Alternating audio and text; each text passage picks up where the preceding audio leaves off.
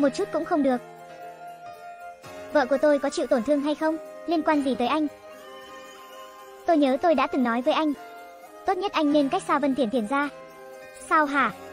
Cậu không cho vợ mình hạnh phúc, mà lại cầm người khác quan tâm cô ấy sao?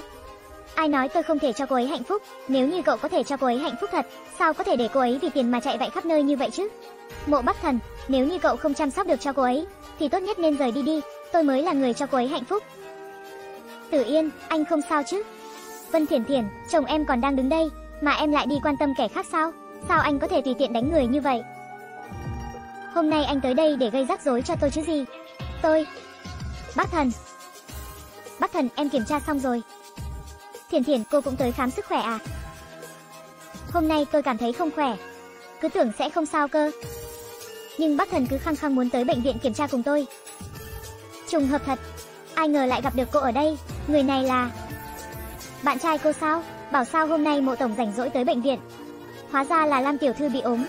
Vân Thiển Thiển. Đừng nói chuyện với tôi bằng thái độ đó. Vậy tôi nên dùng thái độ gì? Mộ bác thần, nếu như anh lấy thân phận người vợ ra để yêu cầu tôi, thì xin hãy nhớ lại thân phận người chồng của mình đi.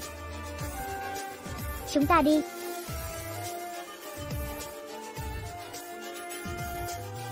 Thiền Thiền, đúng là quan hệ tốt với anh chàng kia quá. Lẽ nào anh ấy chính là bạn trai của Thiền Thiền thật sao? Bác thần à, anh nói xem, đứa bé trong bụng Thiền Thiền, liệu có phải của anh ta hay không? Không phải em đã kiểm tra xong rồi sao? Để anh đi lấy kết quả. Bác sĩ à, kết quả xét nghiệm thế nào rồi? Bệnh tật gì chứ? Cô mang thai rồi. Mang thai? Lẽ nào Vũ Hy đã có thai từ đêm đó sao? Sao mình lại có thai được? Mình và bác thần đâu có. Lẽ nào là bạn trai cũ sao? Đúng đó, anh sắp làm bố rồi. Đứa bé đã được hơn 2 tháng. 2 tháng, anh nhầm lẫn gì rồi? Chuyện này sao tôi có thể nhầm được? Cậu nói năng kiểu gì thế hả? Thế nhưng... Bác thần à, hay là chúng ta ra ngoài trước đi? Bác thần. Anh ấy nói em có thai 2 tháng. Nhưng mà lần trước chúng ta xảy ra quan hệ là vào một tháng trước.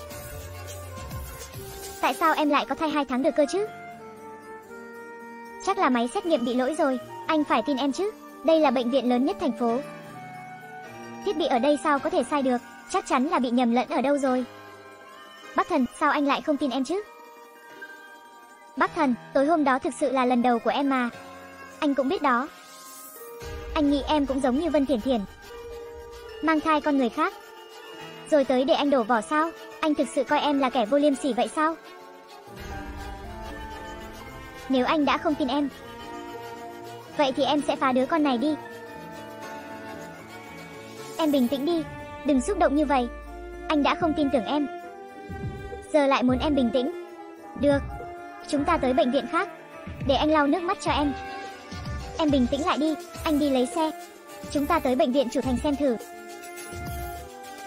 Alo. Ở bệnh viện chủ thành có người của cậu không? Giúp tôi làm việc này với. Mộ tổng đã có kết quả kiểm tra. Đúng là Lam tiểu thư đã có thai được một tháng. Bệnh viện trước nói cô ấy có thai hai tháng. Lẽ nào kết quả sai rồi? Kết quả kiểm tra này còn đúng là còn bị ảnh hưởng bởi máy móc. Cả tình hình của bệnh nhân khi đó nữa. Không tránh khỏi sai sót, chuyện này cũng không hiếm. Mộ tổng đừng quá lo lắng. Bác thần, lần này anh tin em rồi chứ? Xin lỗi em. Anh không nên nghi ngờ em. Bác thần à, đây là con của anh. Anh sẽ giữ lại nó chứ? Em yên tâm, anh sẽ chịu trách nhiệm với em và con. Vậy, vậy còn Vân Thiển Thiển thì sao? Chờ sau khi kỳ hòa giải qua đi, anh sẽ chia tay với cô ấy. Thật vậy sao? Bác thần à, anh tốt quá. Mộ tổng, giường cao cấp chuyên dụng cho thai phụ đã mua rồi ạ, các loại đồ dùng chống phóng xạ. Tổ yến trưng cao cấp từ Úc, nhân sâm nghìn năm cũng mua rồi ạ, mộ tổng. Anh xem còn cần gì nữa không? Cậu cứ tự quyết định là được, chỉ cần là đồ dành cho thai phụ. Thì cứ mua cho Lam Vũ Hy, mộ tổng. Không phải tôi lắm lời, nhưng dù sao Lam tiểu thư cũng đang mang thai con của anh. Mà trông anh có vẻ không để tâm lắm thì phải. Không phải tôi đã bảo cậu mua đồ cho cô ấy sao? Sao lại là không để tâm? Nếu như anh thực sự quan tâm thì đã tự đi mua cho cô ấy.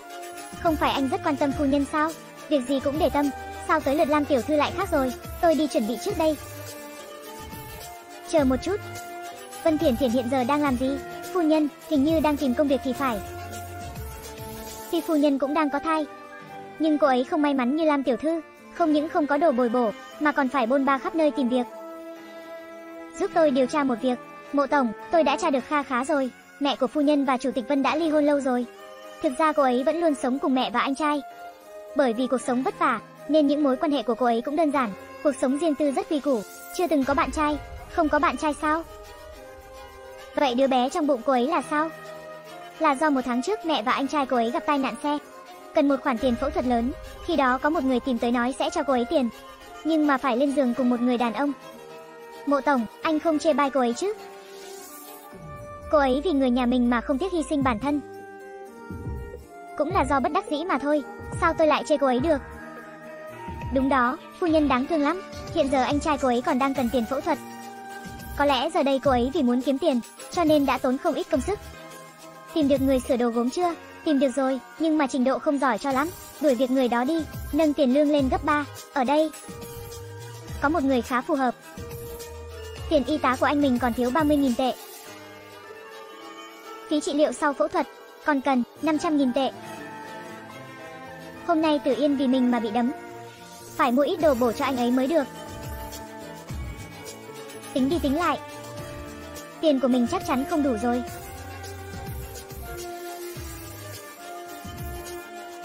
Sao anh lại tới đây nữa? Tôi có thứ muốn tặng em, thứ gì chứ? Anh bảo cái này là mà một ít sao? Không phải em có thai sao? Tuy con không phải của tôi, nhưng ít nhất em cũng là vợ tôi. Thân làm chồng tôi cũng nên gánh vác trách nhiệm chăm sóc cho em. Đồ dùng cho thai phụ và thực phẩm bồi bổ. Em cứ lấy đi.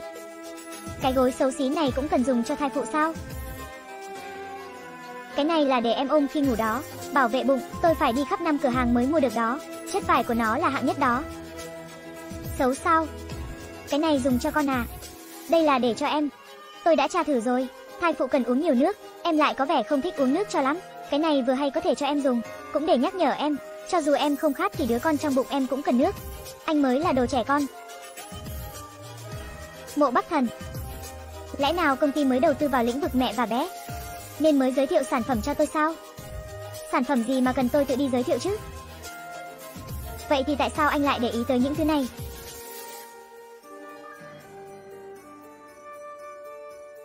Lam Vũ Hy có thai rồi. Cô ấy, có con của anh à?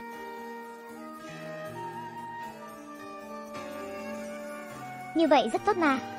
Chúc mừng anh. Lẽ nào những thứ này là anh tiện tay mua cho tôi khi mua quà cho cô ấy sao? Bảo sao anh lại tự dưng tốt như vậy? Cảm ơn anh nhé. Không phải. Mỗi món đồ này đều là do tôi đích thân lựa chọn. Em chưa từng là một sự tùy tiện. Tôi còn có việc, tôi về trước đây. Đây là phòng của em mà. À đúng nhỉ. Vậy tôi còn có việc. Hay là anh về đi. Còn có một chuyện nữa. Tôi có thể nhường quyền khai thác vịnh Tiềm Long cho Vân Gia. Tại sao chứ? Tôi đã tra thử rồi. Vân Gia đúng là không có khả năng khai thác dự án này. Tôi biết mà, anh biết mà còn cho họ sao? Lẽ nào người giàu đều kinh doanh lỗ vậy sao? Không phải là vì tôi đó chứ. Tất nhiên là không rồi, em không đủ sức hấp dẫn vậy đâu. Mộ Bắc Thần tôi sao có thể kinh doanh lỗ được? Nếu như nhường quyền khai thác lại cho Vân gia, thì chắc chắn có điều kiện. Điều kiện gì? Tôi muốn em. Muốn tôi. Đúng. Tôi muốn em tới Vạn Thịnh làm thợ sửa đồ gốm. Lương mỗi tháng là 600.000 tệ. Bảo hiểm được thanh toán đầy đủ, phúc lợi khác cũng tính, chỉ cần em đồng ý tôi sẽ nhường lại quyền khai thác dự án đó cho Vân gia. Tập đoàn Vạn Thịnh ư? Anh là chủ tịch của Vạn Thịnh à? Vạn Thịnh là một công ty nhỏ dưới trướng mộ gia. Sao hả? Hai ngày trước tôi tới đó phỏng vấn. Cũng là vị trí tu sửa đồ gốm. Họ nói tôi đã đắc tội phu nhân chủ tịch. Nên đã loại tôi ra, phu nhân chủ tịch. Tôi không phải là phu nhân chủ tịch sao? Chuyện này tôi sẽ điều tra lại, em hãy tới làm việc là được.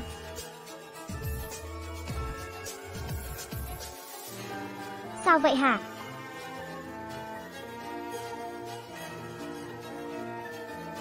Có vấn đề gì sao?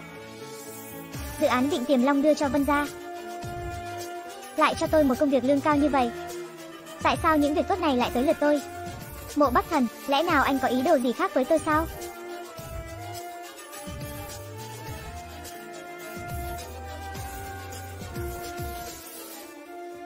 Nếu như tôi nói, người tôi muốn ủ mưu là em đó, em tin không? Có phải anh đã nghĩ tới việc tôi đang có thai?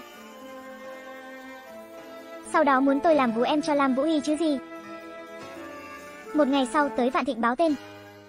Tới muộn một phút trừ 100 tệ. Một tháng 600 nghìn, còn có được quyền khai thác dự án Vịnh Tiềm Long. Như vậy thì có thể trao đổi với Vân Gia rồi, Vân Gia còn cho mình một triệu nữa. Nếu tính như vậy thì, chi phí điều trị và chăm sóc của anh trai. Còn tiền phục hồi sức khỏe, tất cả đều đủ hết rồi.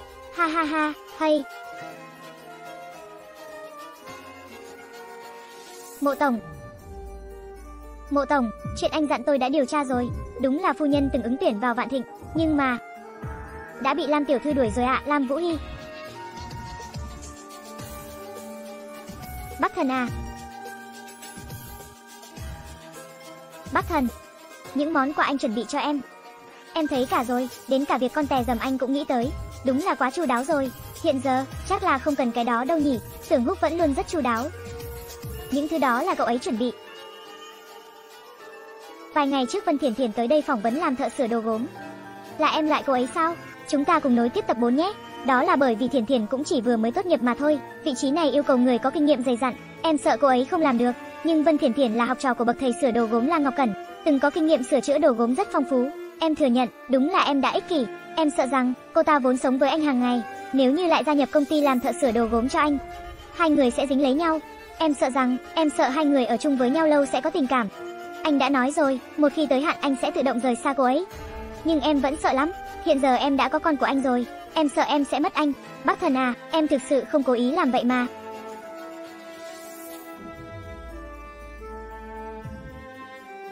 Được rồi, nếu anh đã đồng ý chăm sóc cho em và con, thì anh sẽ chịu trách nhiệm tới cùng. Nhưng mà Vân Thiển Thiển cũng chỉ là một người bình thường.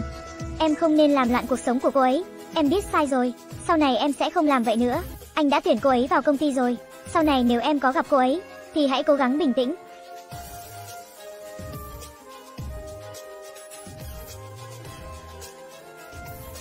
Vân Thiển Thiển, nếu cô đã cố ý bám lấy Bắc Thần không buông, thì đừng trách tôi độc ác.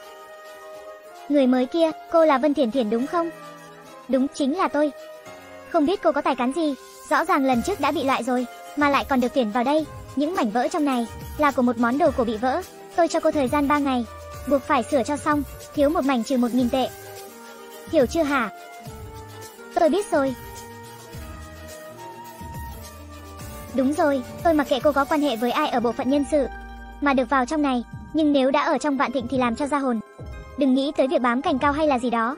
Công ty này có một người cô không chọc nổi đâu, đó chính là vợ của chủ tịch. Chủ tịch là một người cuồng vợ, nếu như cô làm cho phu nhân chủ tịch không hài lòng, ngày mai sẽ có người đuổi cô khỏi Giang Thành. Phu nhân chủ tịch. Không sai. Phu nhân, cô tới rồi sao? Đây là nơi nhân viên chúng tôi làm việc, với thân phận của cô không nên tới đây mới đúng. Vân Thiển Thiển, không ngờ rằng tôi còn có thể gặp cô ở đây đó. Hóa ra phu nhân chủ tịch mà họ nói, lại chính là Lam tiểu thư. Không phải tôi, thì chẳng lẽ là cô sao? Vân Thiển Thiển, cô đúng là bám dính lấy Bắc Thần thật đó. Còn dám tới công ty này, tôi thấy có vẻ cô hiểu lầm rồi. Tôi tới đây để làm việc. Ái trà, cô không nói thì tôi cũng quên mất. Mọi người chú ý nào, trước kia tôi có quen biết Vân Tiểu Thư đây, cuộc sống của cô ta cũng khá phong phú đó. Trước kia cô ta là một kẻ chưa chồng mà chừa. Mọi người nếu có vấn đề gì về chuyện có thai trước khi cưới, hay là đời sống cá nhân quá đơn giản muốn làm cho nó phong phú lên, thì có thể tới tìm Vân Tiểu Thư đây học hỏi. Hôm nay bác thần còn hẹn tôi đi ăn cơm, giờ tôi sẽ không làm phiền cô nữa. Xem ra, phu nhân chủ tịch cũng khá có thành kiến với cô ta.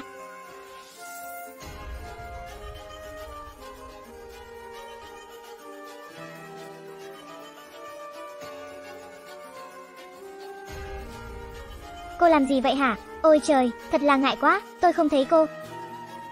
Nào, để tôi giúp cô lau. Không cần đâu, tôi tự lau cũng được. Đồ mới tới kia, cô có thái độ gì vậy? Tôi có lòng tốt giúp cô, ngược lại còn quay sang trách tôi.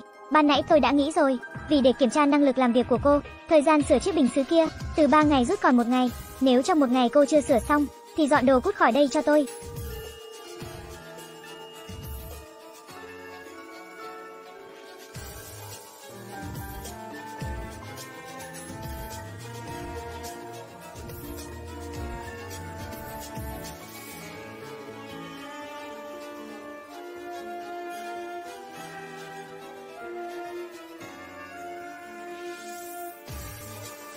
Đã muộn thế này rồi, sao Vân Thiển Thiển vẫn còn chưa về? Tưởng Húc, Vân Thiển Thiển còn ở công ty không? Phu nhân, phu nhân không có ở đó. Sao em lại về muộn như vậy? Không phải là vì cố gắng làm việc cho công ty anh hay sao? Mới đi làm ngày đầu, sao lại khiến bản thân tiểu thị thế kia? Vân Thiển Thiển, em có hiểu thế nào là chăm sóc bản thân không hả? Em còn đang mang thai đó em không biết sao? Tôi không có tư cách được hưởng thụ như anh, khi đi làm còn có thời gian rảnh hẹn hò cùng tình nhân. Ai hẹn hò cùng tình nhân chứ? Hôm nay rõ ràng tôi đã học cả ngày mà. Nếu như em làm việc mệt quá, thì có thể nói với tôi, nể mặt em còn đang có thai, tôi có thể giúp em xin nghỉ vài ngày.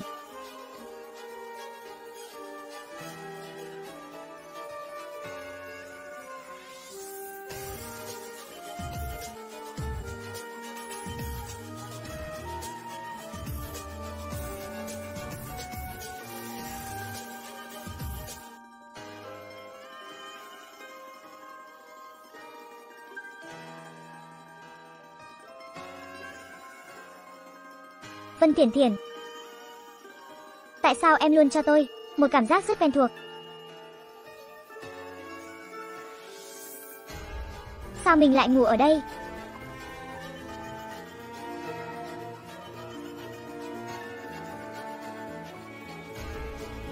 Toi rồi, sắp muộn rồi.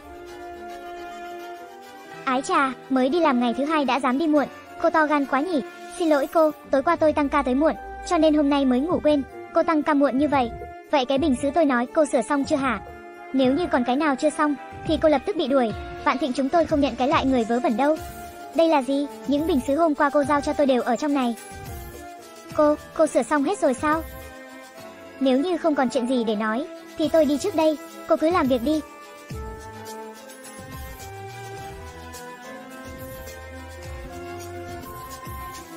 Phu nhân, con nhỏ đó đúng là có chút trình độ, nhiều bình sứ như vậy mà chỉ cần một tối đã sửa xong hết. Tôi muốn đuổi cô ta đi cũng có chút khó. Thủ đoạn thấp hèn như vậy tất nhiên là không được rồi. Muốn đuổi cô ta ra khỏi vạn thịnh thì phải khiến cô ta thân bại danh liệt, không thể trở mình được nữa. Thiền Thiền, đây là hàng của cô, cô mau nhận đi, hàng chuyển phát của tôi á. Gần đây tôi đâu có mua gì, vậy tôi cũng không rõ. Người ta chỉ đích danh nói đưa cho cô, con bảo cảm ơn cô nữa đó. Vân Thiển Thiển, cô cũng ra gì đấy nhỉ? Mới đi làm chưa bao lâu đã có người tặng quà rồi. Chờ một chút. Đây không phải là logo của tập đoàn Hàn Thị hay sao? Hàn Thị và Vạn Thịnh chúng ta là đối thủ cạnh tranh trong hơn 10 năm qua. Vân Thiển Thiển, tại sao họ lại tặng đồ cho cô? Tôi không biết, người ta đã chỉ đích danh tên nói muốn cảm ơn cô rồi. Sao cô lại không biết được chứ? Tôi đã nói là tôi không biết, nếu như cô đã không biết, vậy thì tôi mở ra xem thay cô vậy. Đây là đồ của tôi, dựa vào đâu mà cô đòi xem? Dựa vào việc tôi là sếp của cô, Trời ơi, nhân sâm linh chi, còn có túi hàng hiệu, đây là một khoản lớn đó. Hàn Thị và Vạn Thịnh chúng ta là đối thủ cạnh tranh. Hai công ty vẫn luôn có một quy tắc ngầm, đó là không qua lại với nhân viên công ty đối phương. Vân Thiển Thiển, cô là nhân viên của Vạn Thịnh, tại sao lại được Hàn Thị tặng nhiều đồ tốt tới vậy hả? Tôi không biết, tôi hoàn toàn không hề biết gì về tập đoàn Hàn Thị. Cô không biết sao? Hay là cô làm chuyện gì mờ ám phía sau không dám nói với mọi người đúng không? Không hay rồi, công ty chúng ta có hai món đồ cổ bị đánh cắp rồi, bị đánh cắp rồi, còn không mau đi tìm đi. Đã tìm được rồi, tìm được rồi, ở đâu? Trong triển lãm của tập đoàn Hàn Thị. Hàn Thị, tôi biết rồi, Vân Thiển Thiển, nhất định là cô bán đồ cổ đó cho Hàn Thị, nên họ mới gửi cho cô nhiều đồ như vậy. Cô nói linh tinh gì vậy? Tôi không có, cái đồ ăn cây táo rào cây sung này, Vạn Thịnh cho cô điều kiện tốt như vậy, mà cô lại dám phản bội. Đi, cùng tôi đi gặp giám đốc, tôi không phản bội, những thứ đó không phải tôi trộm, những lời này cô vẫn nên nói trước mặt giám đốc đi. Hôm nay mộ tổng đi công tác, may mà có phu nhân, à Lam tiểu thư ở đây, Vân Thiển Thiển, rốt cuộc Hàn Thị đã cho cô bao nhiêu tiền, rồi thuyết phục cô phản bội Vạn Thịnh ra sao? Cô cứ nói thẳng trước mặt Lam Tổng đi, tôi không có gì để nói. Tôi hoàn toàn không quen biết Hàn Thị gì cả, cũng chưa từng làm chuyện đó. Đã tới nước này rồi còn cứng miệng. Nếu như cô và Hàn Thị không có bất kỳ quan hệ gì, vậy thì sao người ta lại gửi cho cô nhiều đồ như vậy? Tôi không biết, không biết, tôi thấy cô có điều khó nói thì có. Vân Thiển Thiển, nể tình chúng ta quen biết nhau, đáng lẽ tôi nên tha cho cô một lần. Nhưng cô không những trộm đồ của công ty mang cho đối thủ, còn khiến công ty thiệt hại một khoản lớn. Mọi người cũng đã thấy hết cả rồi, tôi cũng không tiện bàn chuyện riêng. Thế này đi, cô chủ động từ chức khỏi Vạn Thịnh, sau đó tới đồn cảnh sát tự thú đi, cũng coi như ra đi trong êm đẹp. Tôi chưa từng làm tại sao lại yêu cầu tôi đi tự thú? Giám đốc Lam, cô chưa điều tra rõ ràng đã tùy tiện kết tội tôi, như vậy thì sao có thể khiến người ta phục chứ? Chuyện này có gì mà chưa rõ? Nếu như cô thực sự không phải là gián điệp của Hàn Thị, thì sao người ta lại gửi nhiều đồ tốt như vậy cho cô chứ? Những thứ đó không phải Hàn Thị gửi tới. Bác thần, không phải anh đi công tác sao? Nghe nói công ty xảy ra chuyện, tất nhiên tôi phải về xem rồi. Mộ tổng, Vân Thiển Thiển trộm đồ cổ của công ty đem bán cho Hàn Thị. Cô ta là kẻ phản bội. Phản bội sao? Cô có chứng cứ sao? Cô ấy là thợ sửa đồ gốm, những cái đó đều là do cô ta phụ trách, cô ta muốn lấy cái nào thì lấy cái đó. Hơn nữa Hàn Thị còn tặng cô ta nhiều đồ như vậy. Những thứ đó đều là tôi tặng cho Vân Thiển Thiển. Cái gì? Tưởng Húc, có, nhân viên có đôi tai điếc thế này. Cậu tìm được từ đâu vậy hả? Xin lỗi mộ tổng, là tôi đã sơ sót, nhưng trên cái hộp rõ ràng có logo của Hàn Thị, những thứ đó chắc chắn là của Hàn Thị. Mộ tổng, tại sao lại là của anh tặng cơ chứ? Bởi vì Vạn Thịnh vừa ký một hợp đồng hợp tác với Hàn Thị. Vạn Thịnh cho Hàn Thị hai món đồ cổ, nên người ta gửi quà đáp lễ lại thôi. Vạn Thịnh vừa ký một hợp đồng hợp tác với Hàn Thị sao? Vậy nên ở đây chẳng có kẻ trộm nào, cũng không có ai là kẻ phản bội cả. Giám đốc Lam, nhân viên của cô, có vẻ đã quá nhạy cảm rồi đó. Mộ tổng, điều này, điều này không đúng, nếu như Hàn Thị đã muốn đáp lễ, vậy tại sao lại phải gửi đồ cho Vân Tiền Tiền chứ? Tôi thấy, chắc chắn là cô ta đã âm thầm cấu kết với người bên đó, bởi vì Vân Thiển Thiển chính là vợ của tôi. Vân Thiển Thiển là phu nhân chủ tịch sao? Chuyện này, sao có thể thế được? Rõ ràng giám đốc Lam mới là. Tôi chưa từng công khai vợ mình ở công ty. Hôm nay vừa hay có cơ hội này để tuyên bố với mọi người. Vân Thiển Thiển là vợ của tôi, tôi tuyển cô ấy vào công ty để tu sửa đồ gốm. Tôi mong mỗi người ở đây đừng có vì vài chuyện vớ vẩn mà làm phiền cô ấy. Các người hiểu chưa hả? Mộ tổng, tôi, cô bị đuổi việc rồi. Giám đốc Lam, cô phải giúp đỡ tôi. Tất cả những gì tôi làm đều là vì cô đấy. Vậy nên, mộ bắc thần đang công khai quan hệ của chúng mình sao? Nhưng không phải sắp ly hôn rồi sao? Bắc thần, ban nãy anh có ý gì? Tại sao anh phải nói Vân Thiển Thiển là vợ anh chứ? Anh không cần em và con nữa sao? Vũ Hy, em quá đáng lắm rồi đó, trộm đồ của công ty tặng cho đối thủ. Hành động này hoàn toàn có thể khiến Vân Thiển Thiển thân bại danh liệt. Không thể ở lại trong giới kinh doanh nữa, em muốn hủy hoại cuộc đời cô ấy vậy hay sao? Anh có ý gì? Em không hiểu, chuyện hôm nay anh nói là thật. Vạn Thịnh đã hợp tác với Hàn Thị. Vậy nên mọi chuyện anh đều biết hết. Là ai đã trộm đồ cổ tặng cho Hàn Thị? Lại là ai giả mạo Hàn Thị tặng cho Vân Thiển Thiển? Anh đều biết rất rõ. Em không thể tha cho cô ấy tới vậy hay sao? Đúng đó, em không thể tha cho cô ta. Bác thần, rõ ràng là em đã hy sinh sự trong trắng của mình giúp anh giải xuân dược. Còn mang thai con của anh, nhưng anh lại kết hôn với người khác. Ngày nào anh cũng ở cùng cô ta, lúc nào cũng bảo vệ cô ta. Người phụ nữ nào có thể chịu đựng được chứ? Trước kia anh từng nói với em rồi, ở chung chỉ là chuyện tạm thời. Chờ kỳ hòa giải qua đi rồi, anh sẽ lập tức ly hôn với cô ấy. Anh sẽ chịu trách nhiệm với em, nhưng em sợ anh yêu cô ta. Hôm nay vì để bảo vệ cô ấy, anh đã công khai quan hệ của hai người, như vậy khác nào tát vào mặt em. Em thấy, có lẽ anh không hề quan tâm. Nếu đã như vậy, chi bằng để em và con chết luôn đi cho xong. Em bình tĩnh lại đi, Hôm nay anh công khai quan hệ với cô ấy, cũng quy là bất đắc dĩ. Chờ sau khi ly hôn xong, anh sẽ giải thích với mọi người. Em yên tâm, anh nhất định sẽ bù đắp lại cho mẹ con em. Vậy nên mong sau này em đừng làm những chuyện như vậy nữa. Thật vậy sao? Anh đừng lừa em. dáng vẻ của em ngày hôm nay hoàn toàn khác với người đã từng cứu anh đêm đó. Đừng làm những chuyện khiến anh căm ghét nữa. Em biết rồi. Xin lỗi anh, em về trước đi. Anh còn phải đi họp. Anh bảo tôi đi công tác cùng anh sao? Đi đâu, đi bao lâu? Còn có ai nữa, Việt Thành? Khoảng 3 ngày. Chỉ có chúng ta thôi, chỉ có hai chúng ta sao? Sao anh không phải Lam Vũ Hy đi cùng? Lam Vũ Hy cô ấy có thai rồi. Cần an tâm dưỡng thai, không nên bôn ba khắp nơi, nhưng tôi cũng có thai mà, tôi cũng cần dưỡng thai chứ, liên quan gì tới tôi chứ? Đứa bé đâu phải con tôi. Mộ Bắc Thần, dự án Vịnh Tiềm Long tôi đã cho em rồi.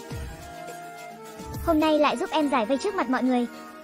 Tính đi tính lại thì tôi đã giúp em hai lần. Tôi bảo em đi công tác cùng tôi, lẽ nào không được? Được thôi. Tôi cũng không phải người vong ơn bội nghĩa. Vậy để tôi đi dọn đồ. Không cần đâu, lần này đi Việt Thành cần phải cùng ăn cùng ở với tất cả mọi người. Tôi đã giúp em sắp xếp mọi thứ rồi. Chúng ta cùng ăn cùng ở sao? Em đừng hiểu lầm. Trong căn phòng chung có hai phòng nhỏ. Khách sạn mà chúng ta ở lần này là khách sạn Tân Đoan sao? Ừm. Sao vậy hả? Tại sao? Rõ ràng là khách sạn đêm đó mà. Em sẵn sàng chưa? Đi thôi. Đây là 500.000 tệ, nếu như đã cầm tiền thì im miệng cho tôi. Em sao thế? Sắc mặt có vẻ khó chịu như vậy, không thoải mái sao? Không sao, có lẽ là do say xe. Vậy em nghỉ ngơi chút đi, tôi đi làm thủ tục nhận phòng. Tôi tới check-in, phòng hai người, mộ tiên sinh lại tới công tác sao ạ? Người đó là vợ của anh sao? Anh đúng là một người chồng tốt, lần nào đi công tác cũng dẫn theo vợ. Lần nào cũng vậy sao? Sao cô biết đó là vợ tôi? Một tháng trước anh từng tới đây. Đêm đó tôi tận mắt thấy cô ấy vào phòng của anh. Sáng hôm sau mới rời đi. Cô nói gì cơ? Một tháng trước. Là cái ngày tôi mơ hồ không rõ đó sao? Hôm đó đúng là anh có chút không tỉnh táo cho lắm. Ngày mà mình uống phải xuân dược, chính Vân Thiển Thiển là người đã vào phòng mình. Làm thủ tục xong chưa? Vân Thiển Thiển, sao chấm SAO vậy hả? Một tháng trước vào ngày 22. Em có từng tới khách sạn Tân Đoan không? Sao anh ta lại biết mình từng tới? Lẽ nào đang điều tra mình hay sao? Không có, nhưng rõ ràng chính tôi đã thấy cô vào khách sạn này mà. Cô nhớ nhầm rồi, hôm đó tôi không ở Việt Thành, sao có thể xuất hiện ở đây chứ? Nhưng rõ ràng tôi nhớ là, chắc là cô nhớ nhầm rồi, cũng có thể, lẽ nào là tôi thực sự nhớ sai sao? Tôi mệt rồi, đi nghỉ trước đây. Lẽ nào là cô Lễ Tân nhớ nhầm thật? Tổng cộng có hai phòng một lớn một nhỏ, dù sao cũng là anh trả tiền, anh ở phòng lớn đi, còn tôi ở phòng nhỏ. Vân Thiển Thiển, trước đây em chưa từng tới khách sạn này sao? Chưa từng. Em biết không? Trong thời gian ở cùng với em, tôi phát hiện em có một tật xấu nhỏ. Tật xấu gì? Đó là khi em nói dối, đều không dám nhìn vào mắt người khác, đúng là rảnh rỗi thật. Nhìn thẳng vào mắt tôi, nói cho tôi biết, trước khi em từng tới khách sạn này chưa? Đây là chuyện cá nhân của tôi, tôi không muốn nói, cũng không muốn người khác biết. Tôi mệt rồi, đi nghỉ trước đây. Tưởng Húc, lập tức đi điều tra camera giám sát ở khách sạn Tân Đoan một tháng trước cho tôi. Là ngày mà tôi bị bỏ thuốc ấy. Cậu nói gì? Mộ Bắc Thần sai người điều tra camera giám sát ở khách sạn Tân Đoan một tháng trước sao? Lập tức đi tìm một chuyên gia máy tính cho tôi. Tôi mặc kệ cậu dùng cách nào, nhất định phải hủy đi đoạn video đó, không thể để Bắc Thần thấy được, nghe rõ chưa hả? Đang yên đang lành. Sao anh ấy lại tự nhiên muốn đi điều tra camera? Lẽ nào đã biết chuyện gì rồi sao? Mộ tổng, camera xảy ra sự cố không thể trích xuất được, video giám sát một tháng trước không thể điều tra được, người không biết còn tưởng có người cố tình hủy hoại. Nghĩ cách khôi phục lại cho tôi. Vâng, mộ tổng à, sao anh đột nhiên muốn điều tra camera khách sạn vậy? Chuyện còn lại cậu điều tra thế nào rồi? Đã có kết quả ạ, đúng là một tháng trước phu nhân đã tới khách sạn Tân Đoan. Trùng hợp là, đó là ngày anh bị người ta bỏ thuốc. Cô ấy tới làm gì? Đã tra được chưa? Chuyện này tôi không rõ lắm, chỉ nghe người khác nói rằng, hôm đó mẹ và anh trai của phu nhân gặp tai nạn. Cô ấy tới khách sạn tìm người để vay tiền. Có chuyện trùng hợp như vậy sao? Alo, Bắc Thần à, anh tới Việt Thành chưa? Tới rồi, một khi anh làm việc thì sẽ chẳng quan tâm gì cả. Nhất định phải chú ý sức khỏe, chăm sóc cho bản thân thật tốt nhé. Anh hiểu chưa? Ừm, Bắc Thần à, lần này anh tới Việt Thành có gặp chuyện gì vui không? Không có, vậy. Em còn đang có thai, đừng thức quá khuya, em ngủ đi, được. Vậy anh cũng ngủ sớm đi nhé. Nghe thái độ của anh ấy. Có lẽ chưa phát hiện ra chuyện gì. Lam Vũ Hy. Đừng hoảng loạn. Đợi qua một tuần nữa là hết một tháng rồi. Tới khi đó, Vân Thiển Thiển sẽ bị mộ ra đuổi ra khỏi nhà. Con nghe nói, mộ Bắc Thần dẫn Vân Thiển Thiển tới Việt Thành du lịch rồi. Sao cô ta may mắn vậy chứ? Vị trí phu nhân mộ ra đáng lẽ phải là của con. Đều là tại Vân Thiển Thiển đã cướp đi tất cả của con. Mẹ à, chúng ta phải làm gì mới có thể khiến cô ta bị đuổi khỏi mộ ra chứ? Lần trước con không thấy mộ Bắc Thần bảo vệ cô ta tới vậy hay sao? Sao có thể đuổi con bé đó đi nhanh như vậy cơ chứ? Nhưng nếu cô ta không đi, thì sao con có thể cưới anh ấy được? Mộ Bắc Thần không đuổi nó đi, thì nó có thể tự đi mà. Chúng ta không làm gì được nó, thì vẫn còn thằng anh trai đang nằm viện của nó cơ mà. Mẹ à, mẹ muốn. Hứ, Alo, là tôi, Vân Tư Hàm đây. Có chuyện gì, Vân Thiển Thiển, cô ngồi ở vị trí phu nhân mộ ra lâu như vậy rồi. Hiện giờ cũng nên trả cho tôi rồi, trả cho cô. Ban đầu nếu như không phải tôi từ chối, thì cô làm gì có cơ hội gả cho mộ bắc thần chứ? Hiện giờ tôi đổi ý rồi, giờ tôi lại muốn lấy mộ bắc thần, cô mau cút khỏi cái ghế phu nhân mộ ra đó đi. Nếu không thì... Đồ điên. Được lắm Vân Thiển Thiển, cô dám cúp điện thoại của tôi. Được. Vậy tôi sẽ chờ cô, khóc lóc tới cầu xin tôi. Sao lại giận dữ vậy chứ? Ai chọc em thế? Anh đó, đúng là cái đồ công tử lăng nhăng, ngày nào cũng khiến tôi khó chịu. Hả? Hả gì mà hả? Hành lý thu dọn xong rồi, mau về nhà đi. Cứ đi như vậy sao? Vali cũng không cầm à, đúng là không có mắt nhìn tí nào.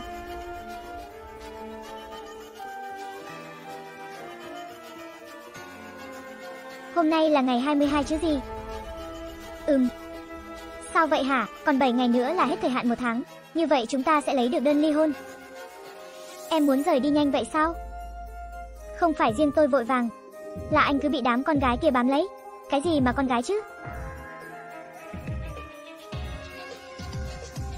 Alo, là Vân Tiểu Thư đúng không? Anh trai cô Vân Thiên đang rơi vào tình trạng nguy kịch. Hiện giờ đang xảy ra phản ứng sốc thuốc. Cô mau tới bệnh viện đi. Sốc sao? Được tôi tới ngay. Mộ Bắc Thần, lập tới bệnh viện chủ thành. Anh tôi gặp chuyện rồi. Tới bệnh viện ngay, sao lại đột nhiên bị sốc chứ? Rốt cuộc là chuyện gì? Đừng lo lắng, chúng ta sẽ tới ngay thôi, biết đâu chỉ là lo lắng quá mà thôi. Bác sĩ ơi, anh tôi sao rồi, đã kiểm soát được tình hình rồi, nhưng mà vẫn chưa thoát khỏi nguy hiểm tính mạng, nguy hiểm tính mạng. Sao lại đột nhiên như vậy? Rõ ràng anh trai tôi vẫn đang bình thường, theo tình hình của bệnh nhân hiện giờ, có lẽ là do trúng độc. Trúng độc, chúng tôi đã rửa dạ dày cho bệnh nhân rồi, nhưng mà độc tố đã lan ra khắp tứ chi. Nếu như không thể chữa trị kịp thời, thì có lẽ sẽ không cứu được nữa. Sao lại có chuyện này? Tại sao lại đột nhiên trúng độc? Mình phải đi tìm thuốc giải ở đâu đây?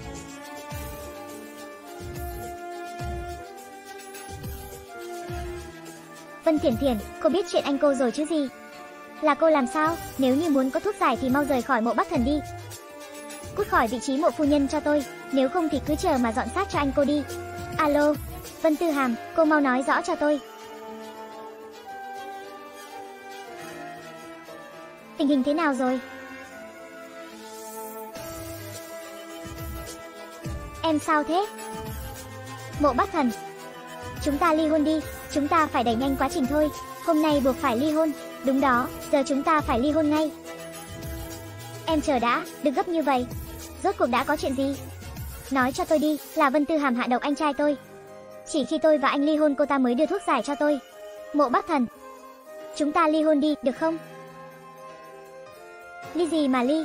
Cả Giang Thành này đều là của mộ gia. Em nghĩ tôi không tìm được thuốc giải hay sao? Đừng khóc nữa. Yên tâm đi.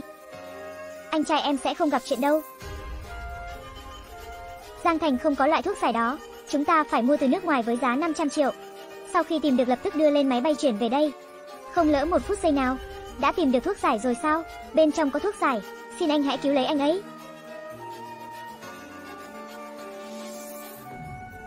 Bác sĩ, anh tôi sao rồi? Thuốc giải đưa tới rất đúng lúc, chúng tôi đã cho bệnh nhân dùng và tôi cũng đã thực hiện phẫu thuật thanh lọc, bệnh nhân hiện đã không sao rồi.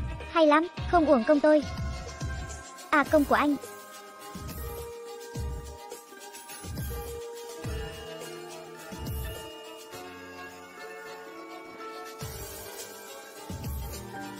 Mộ Bắc Thần.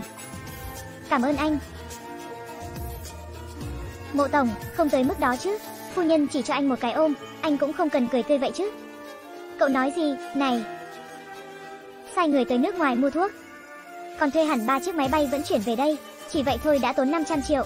Mộ tổng, anh đã yêu phu nhân rồi sao? Đây không phải là yêu nữa, mà là chìm sâu rồi. Dạo này cậu có vẻ rảnh nhỉ? À tôi còn có việc, tôi đi trước đây. Cái gì? Vân Thiên được mộ bắc thần cứu sống rồi sao? Sao lại có chuyện này? Sao mộ bắc thần lại giúp cho Vân Thiền Thiền chứ? Mẹ cũng không ngờ được. Con tiện nhân này đã học được trò quyến rũ ở đâu vậy? Lại có thể khiến cho mộ bắc thần mê đắm đuối như vậy. Sau lần này có lẽ họ sẽ càng đề phòng hơn. Chỉ sợ lần sau muốn ra tay sẽ càng khó hơn. Vân Thiển Thiển, sao cô lại tới đây? Tất nhiên là tới tính sổ với cô rồi. Vân Thiển Thiển, đây là Vân gia. Mày định làm gì? Bình thường các người làm biết bao chuyện xấu xa. Làm bao nhiêu chuyện dơ bẩn với tôi tôi mặc kệ. Nhưng các người đừng nên đụng vào anh trai tôi. Cứ tôi cứ làm đấy thì sao nào? Cô nghĩ cô là cái thá gì? Cô chẳng qua gì là đứa con gái bị bố tôi bỏ rơi mà thôi. Mới sáng sớm đã ẩm ý cái gì? Thiền thiền, sao mày lại về đây? Con trai vừa từ cửa tử quay về. Người làm bố như ông còn có tâm trạng ngủ nướng. Chủ tịch Vân đúng là người bố tốt. Mày có ý gì? Không phải ông muốn có quyền khai thái dự án Vịnh Tiềm Long sao? Lấy được rồi sao? Không thể nào, dự án đó quan trọng như vậy. Sao mộ bắc thần lại đưa nó cho cô cơ chứ? Không thể nào sao? Hợp đồng đang ở đây. Có gì mà không thể cơ chứ? Mộ bắc thần đối xử với mày đúng là không tồi. Một miếng đất to như thế mà cũng cho được. Một triệu của tôi đâu? Lát nữa bố sẽ chuyển cho con gái yêu. Nhưng tôi đổi ý rồi. Một dự án như Vịnh Tiềm Long đổi lấy một triệu.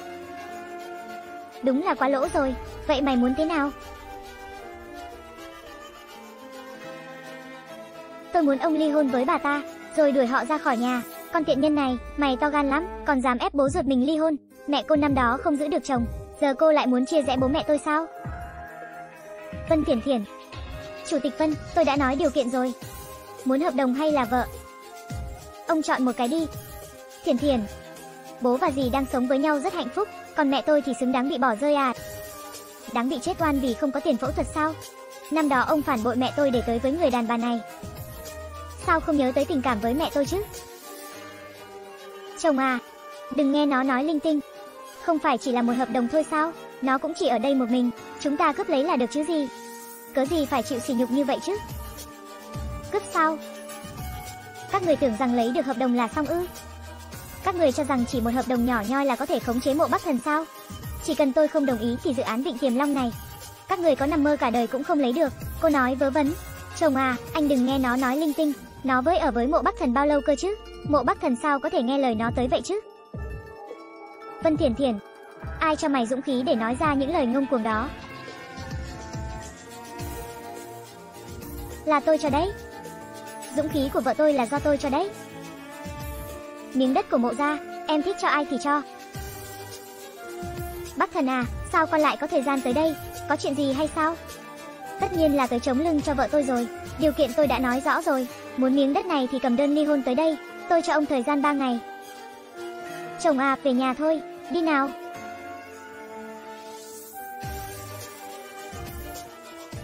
Vui vậy sao? Tất nhiên rồi, trước kia đều do ông bố khốn nạn của tôi chèn ép ba mẹ con. Giờ tới lượt tôi chèn ép lại ông ta. Tất nhiên là thoải mái rồi. Lần này nếu như không để cho người đàn bà đó và Vân Tư Hàm đền tội, thì tôi đúng là quá có lỗi với anh trai tôi. Nếu bố em sẽ dễ dàng ly hôn như vậy, thì em phải tới tìm tôi sao? Sao anh biết?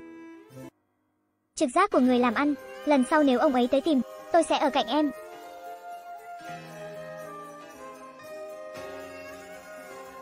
Đẹp không hả? Có phải tôi đẹp trai lắm không? Tôi buồn ngủ rồi, ngủ trước đây.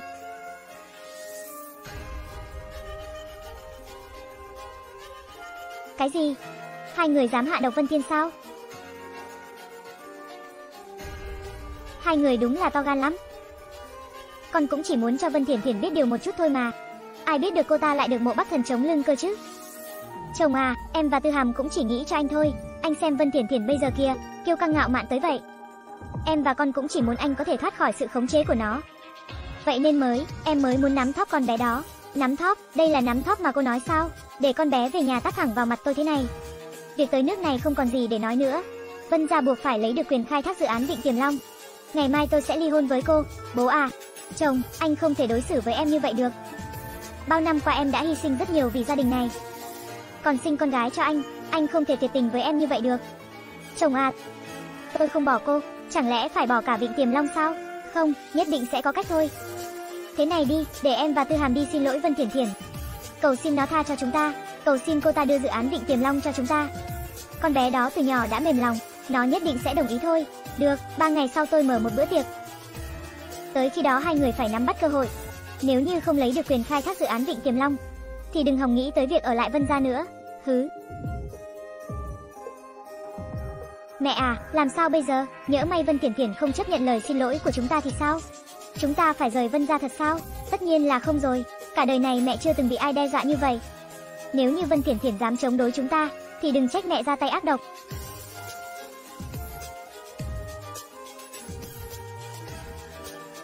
Vào trong đi, chờ đã. Sao vậy hả? Khoác vào đi.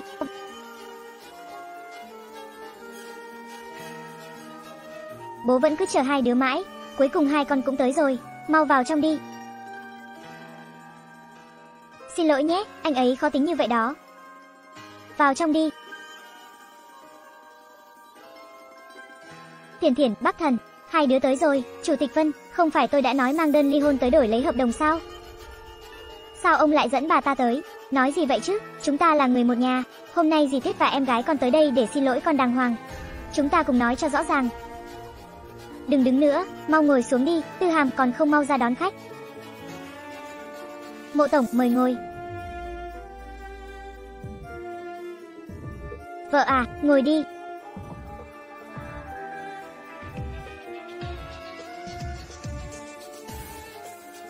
Tư Hàm đúng là có tâm quá rồi, tới xin lỗi mà còn mặc đẹp thế này, không biết còn tưởng cô tới xem mắt đấy. Vân Thiển Thiển, cô.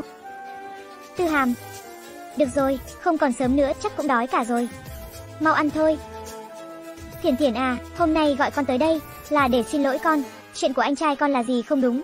Xin lỗi con, nếu xin lỗi có tác dụng thì còn cần cảnh sát làm gì? Nếu như bà đã thực sự biết sai, thì nên dẫn theo Vân Tư Hàm tới đồn cảnh sát tự thú đi. Chuyện các người làm là vi phạm pháp luật đó. Tất nhiên trước khi tới đồn cảnh sát tự thú thì đừng quên ly hôn với bố tôi. Vân gia chúng tôi không chứa chấp những thứ bẩn thỉu. Thiền thiền, dì biết con vẫn còn giận gì, nhưng dì với bố con yêu nhau thật lòng. Yêu nhau thật lòng sao? Vậy chủ tịch Vân còn cần hợp đồng này nữa hay không? Chồng à, Thiển Thiển, con qua đây một chút, bố có chuyện muốn nói với con. Để tôi đi cùng em, không cần em tự ứng phó được. Tư Hàm còn ngồi đấy làm gì nữa, mau tiếp khách đi.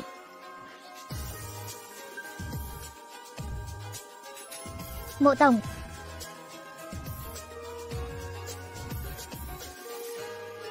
Mộ Tổng mời dùng. Cảm ơn cô.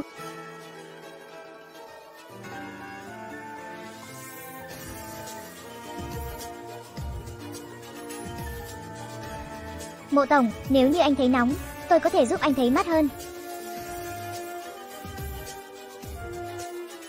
Vân Thiển Thiển, rốt cuộc mày muốn cái gì? Mày cứ phải ép Vân ra chúng ta tan cửa nát nhà đúng không? Tôi sớm đã thấu hiểu cảm giác tan cửa nát nhà từ lâu rồi. Ông cũng thấy rồi đó, mộ Bắc Thần rất coi trọng tôi, chỉ cần tôi không đồng ý thì anh ấy sẽ không bao giờ đưa dự án cho Vân ra. Còn tôi, chỉ cần ông và bà ta ly hôn, bà ta hay công ty quan trọng hơn, ông hãy nghĩ cho kỹ, bố đồng ý với con. Bố sẽ ly hôn với bà ấy. Hợp đồng đâu, lát nữa sẽ gửi tới phòng làm việc của ông, đúng là vợ chồng tình sâu nghĩa nặng.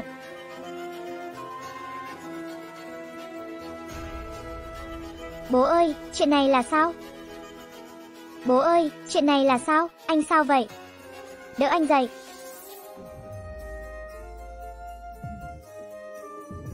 Chúng ta về nhà, đứng lại đó, không được đi, cậu vừa làm chuyện đó với Tư Hàm, còn không mau chịu trách nhiệm. Chuyện gì vậy chứ? Bố, ban nãy anh ấy, anh ấy, ban nãy làm sao? Mộ tổng, ban nãy cậu làm gì con gái tôi? Ban nãy anh ấy, sơ, cô định nói là chồng tôi sàm sỡ cô chứ gì? Không sai, cậu ta đã làm chuyện đó với Tư Hàm thì phải chịu trách nhiệm. Bà lấy niềm tin ở đâu ra thế hả? Với nhan sắc của con gái bà, chồng tôi còn khinh thường đấy. Thiền Thiền, em gái con còn đang chịu uất ức kia kia, sao con lại nói đỡ người ngoài chứ? Em gái, mẹ tôi chỉ sinh một mình tôi thôi, làm gì có em gái nào? Hơn nữa, tất nhiên là tôi thân thiết với chồng tôi hơn rồi.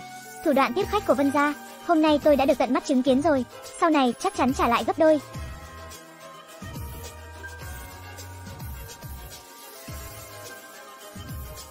Chuyện này là sao hả? Cậu ta đã sàm sỡ từ Hàm, chắc chắn mộ Bắc Thần đã để ý dư Hàm nhà ta rồi. Cậu ta còn không nói thật chứ gì? Bà tưởng con gái bà là thần tiên, có thể khiến một người như mộ Bắc Thần làm chuyện đó trên bàn ăn hay sao? Chồng à, Chậm một chút.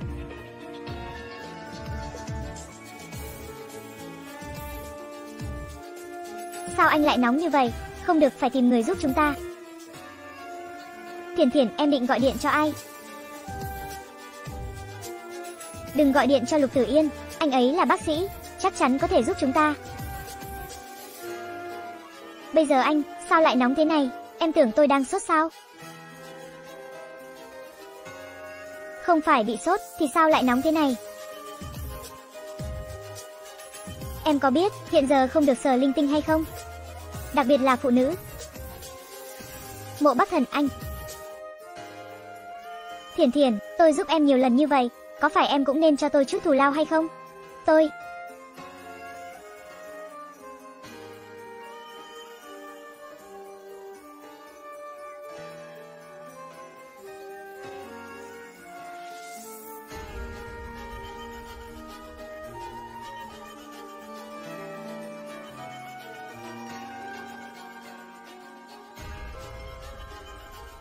Mộ Bắc Thần. Không được. Trong bụng tôi còn có con. Đừng tới đây.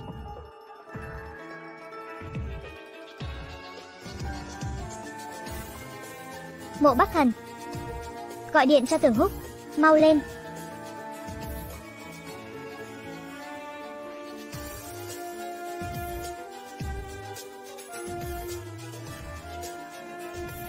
Alo, thư ký tưởng đúng không?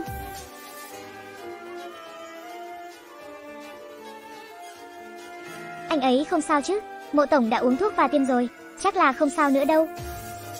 Vậy thì tốt, nhưng để đề phòng vạn nhất, tối nay phiền phu nhân ở lại chăm sóc cho anh ấy. Anh yên tâm, tôi sẽ chăm sóc cho anh ấy.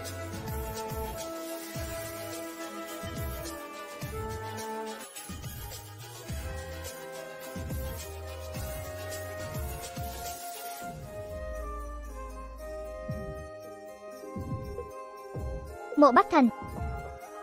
Cảm ơn anh.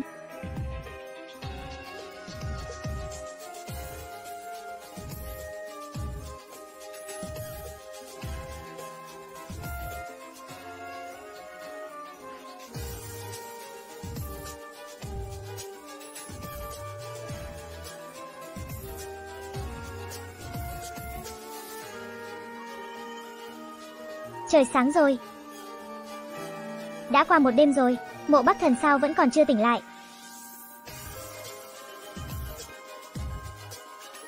Người anh ấy không còn nóng nữa rồi, lẽ nào là xảy ra chuyện gì rồi? Không được, phải gọi bác sĩ tới mới được. Anh tỉnh rồi sao? Anh tỉnh từ bao giờ vậy? Mới ban nãy thôi. Tỉnh lại là tốt rồi.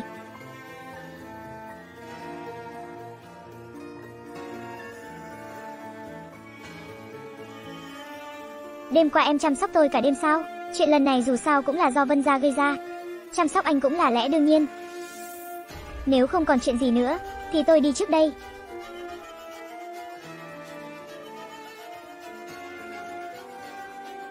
Vân Thiển Thiển, em sao thế? Không sao, chỉ là có chút đau đầu thôi. Không sao.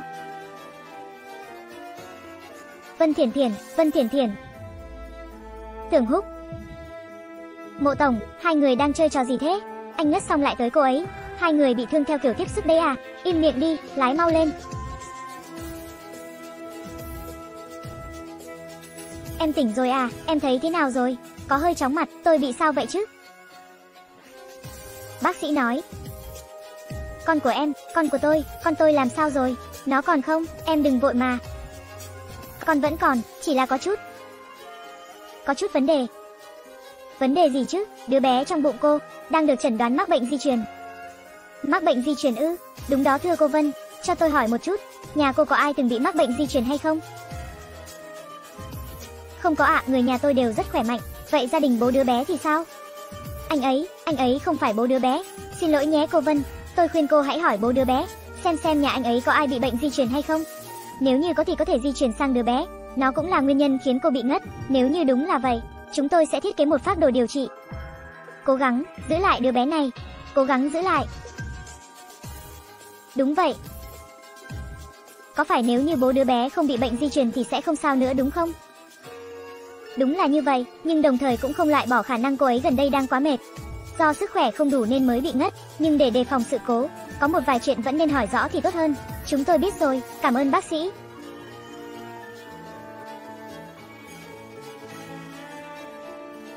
Em đừng hoảng loạn, biết đâu lại không phải thì sao? Cứ thử liên hệ với bố đứa bé để hỏi xem sao. Mộ Bắc Thần, tôi có phải là người vô dụng lắm đúng không? Có phải tôi là một người thất bại đúng không? Là một bà mẹ thất bại. Em không phải, em giỏi lắm, hơn nữa còn có tôi đây. Em yên tâm đi, không sao đâu. Cứ thử liên lạc với bố đứa bé xem sao. Để tôi thử liên lạc với bố thằng bé sao?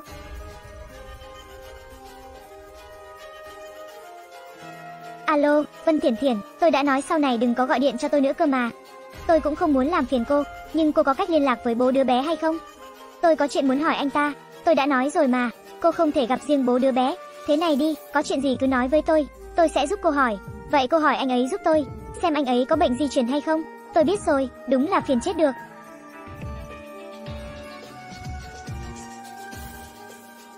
Anh nghe thấy hết rồi sao? Ừm, anh. Em đừng nghĩ nhiều, đợi người đó liên lạc được với bố đứa bé. Chúng ta tính sau, ừm.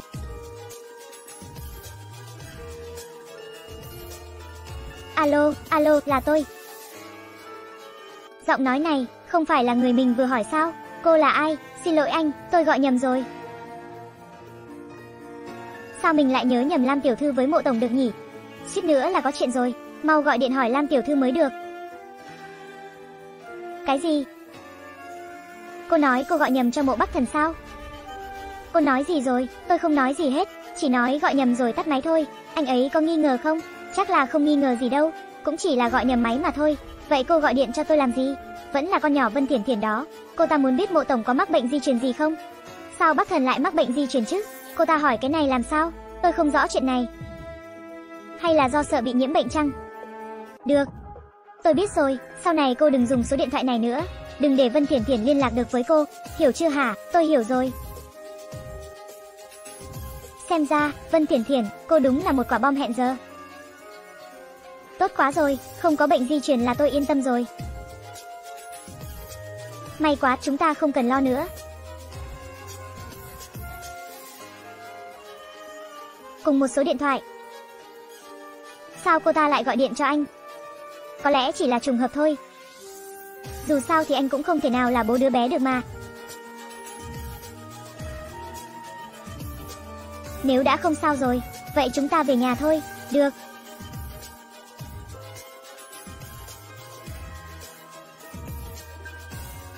Bắc thần, anh ấy lại mở cửa xe cho con tiện nhân Vân Thiền Thiền sao? Không sao chứ?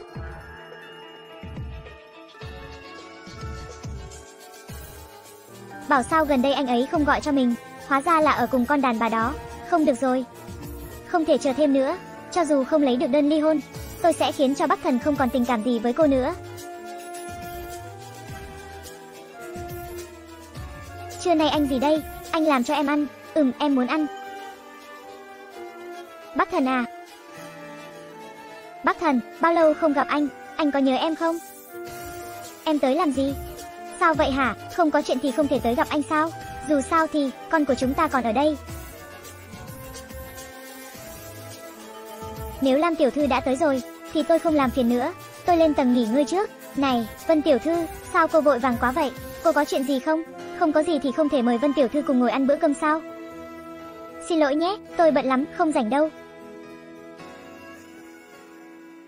Bắc Thần à, vậy chúng ta đi ăn cơm thôi.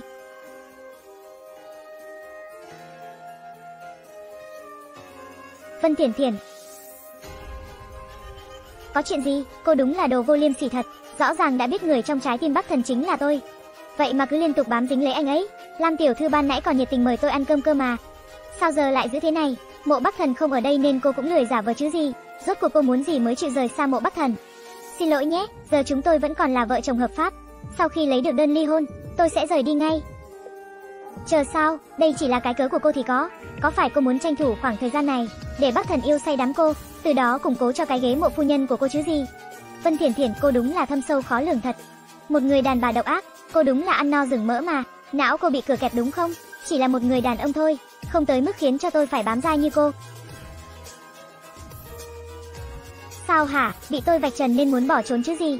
Vân Thiển Thiển tôi cho cô biết, bác thần vốn là của tôi, anh ấy chỉ có thể là của tôi, ai cũng đừng hòng cướp đi, ai thèm cướp với cô chứ. À à. Vũ Hy. Vũ Hy. Em sao rồi? Bác thần, đau. Đau quá, em đau quá. Em chảy máu rồi. Để anh đưa em tới bệnh viện.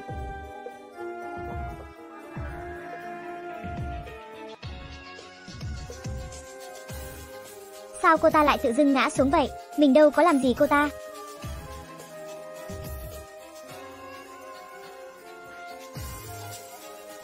Vũ Hy, em tỉnh rồi. Em thấy sao rồi? Bác thần, anh tới rồi sao? Con của em đâu? Em bị thương ở bụng. Đứa trẻ, đã không còn nữa, không còn sao? Sao lại như vậy chứ? Con của em, con của em. Lam tiểu thư, cô đừng buồn, con rồi sẽ có lại. Con rồi sẽ có lại sao? Vân Thiển Thiển, giờ cô nói nhẹ nhàng như vậy, thì con tôi chết vô ích rồi sao? Bác thần, là cô ra, là cô ta đố kỵ em đã mang thai con anh, sợ cái ghế mộ phu nhân bị em cướp mất, cô ta đã đẩy em xuống cầu thang, là cô ta hại em, tôi không có, khi đó tôi còn chẳng dùng sức, cô không thể nào ngã xuống được, cô không dùng sức ư? Lẽ nào là tại tôi tự ngã xuống đó à? Là tôi tự hại con mình hay sao? Đủ rồi. Bác thần, con anh còn nhỏ như vậy. Nó còn chưa kịp tới thế giới này ngắm nhìn mọi thứ. Vân Thiển Thiển, xin lỗi đi, tôi không hề đẩy cô ấy. Anh không tin tôi sao? Con của cô ấy mấy rồi, liên quan gì tới tôi? Tôi thực sự không hề đẩy cô ấy. Vân Thiển Thiển, nếu anh đã không tin, thì tôi không còn gì để nói nữa. Tôi không làm gì sai. Tôi sẽ không xin lỗi. Bác thần à, anh đừng đi, đừng để em lại một mình. Không sao, anh không đi đâu. Bác thần à. Em chẳng còn gì cả, em chỉ còn anh thôi. Bác thần à, ngay cả anh cũng không cần em hay sao? Lẽ nào anh định vì Vân Thiển Thiển mà bỏ rơi em hay sao? Bác thần, con của chúng ta mất rồi, nếu như anh cũng muốn bỏ em, thì để em chết quách đi cho xong. Em yên tâm đi. Anh sẽ cho em một danh phận. Bác thần,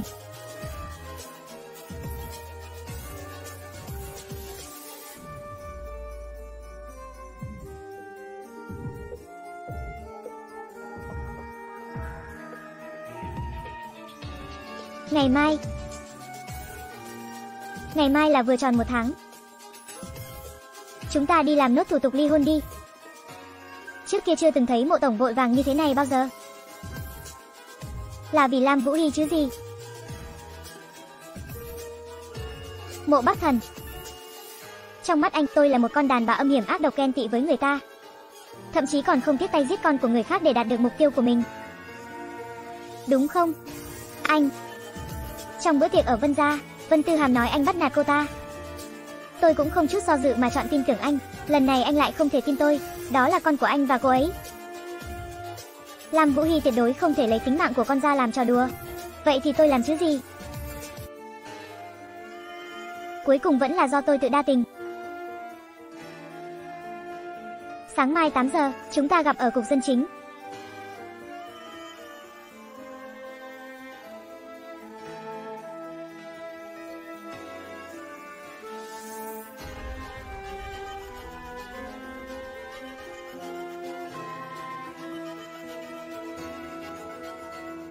Có lẽ chia tay mới là lựa chọn tốt nhất.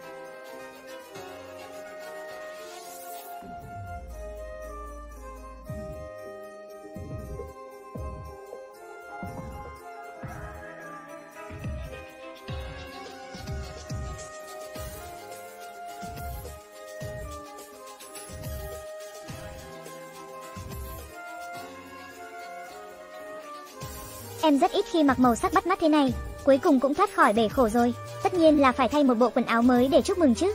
Vân Thiển Thiển, tôi không phải không tin em. Được rồi mộ tổng, chúng ta vốn không chung lối đi. Sau này anh chăm sóc thật tốt cho Lam Vũ Hy là được. Vào trong đi, hai người đứng lại. Chính là các người đã hại tao, khiến tao và Tư Hàm bị đuổi khỏi Vân gia.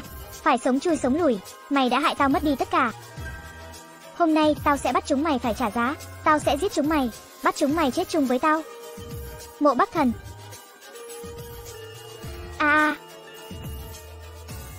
Tường Húc. Bỏ tao ra. Chói bà ta lại, anh không sao chứ, không sao chứ, ai bảo em chắn trước mặt anh, em còn đang có thai, em không biết sao, em chán sống rồi à, tình hình khi đó rất gấp tôi không nghĩ được nhiều như vậy, anh mới là đồ ngốc, bà ta đã lao tới rồi, sao anh còn đứng im, anh muốn bị đâm lắm sao? Máu. Máu ở đâu vậy, anh bị thương rồi. Không sao đâu. Vết thương nhỏ thôi, mộ tổng xử lý bà ta thế nào? Vân Thiển Thiển, tao phải giết chúng mày. Đưa bà ta đến đồn cảnh sát, xử lý thế nào thì sẽ làm thế đó. Đi. Buông tao ra, mau tới bệnh viện ngay thôi. Nhưng mà, sao hả, anh muốn vác cái người đầy máu này đi ly hôn sao? Không biết còn tưởng anh bị bạo hành đấy. Được. Tới bệnh viện. Được rồi, không sao nữa rồi. Sau khi về nhà nhớ kiêng ăn cay và không được chạm vào nước. Được tôi nhớ rồi, cảm ơn bác sĩ. Anh. Tôi. Em giúp anh mặc áo vào được không? Tôi sao, ở đây còn người nào khác à? Cánh tay anh bị thương rồi, không động đậy được.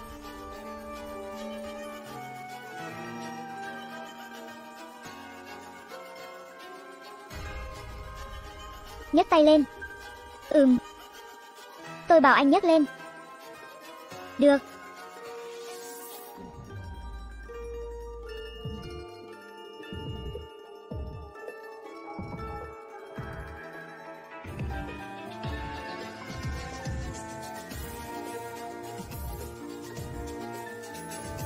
Thiền Thiền. Tử Yên, sao anh lại ở đây? Tử Yên, sao anh lại ở đây? Nghe nói mộ tổng bị thương, cho nên anh tới đây thăm. Thật ra, thật ra tôi chỉ bị thương nhẹ thôi, nhờ phúc của Lục Thiếu nên vẫn chưa chết, anh thất vọng lắm à? Mộ Bắc Thần, anh nói chuyện kiểu gì thế hả? Tử Yên, xin lỗi nhé, anh ấy bị thương cô nên tâm trạng không tốt. Không sao đâu, anh hiểu mà. Thiền Thiền, giờ em có rảnh không? Anh có chuyện muốn nói với em. Được, anh tới chỗ cũ chờ em, lát nữa em tới. Chỗ cũ sao? Hai người thân quá nhỉ?